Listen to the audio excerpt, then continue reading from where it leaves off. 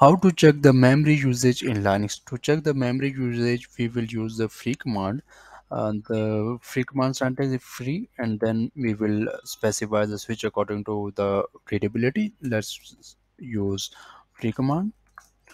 It will show us the total usage in KBs. Now if we want to use in human readable, free minus H. It will show us in MBs. And now if we want to um, check the total usage of RAM, we will use free minus h minus t. T for total it will show us the total usage. Now if we want to check the ram user after some interval then we will use free minus h minus s for second. And let's say if we want to see um, the stats after two seconds then it will show us the current status after every two seconds